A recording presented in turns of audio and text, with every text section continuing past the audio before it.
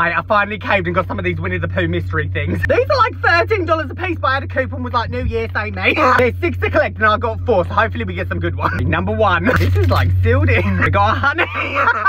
Just pop the top. what is it? It's, oh, Winnie the Pooh. He's got a little butterfly and everything. And they go on top, look at that. Isn't that proper fancy? Okay, number two. You can't even see it. Oh, hey fella!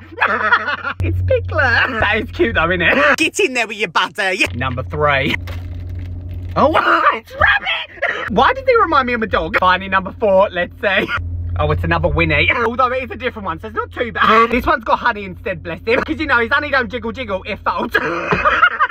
There's a side by side so you can see the difference. Why does he low-key look like me, though? you know what? Four out of six ain't bad. See, this is my issue, because now all I want is Eeyore and Tigger. I mean, I ain't got no money, honey.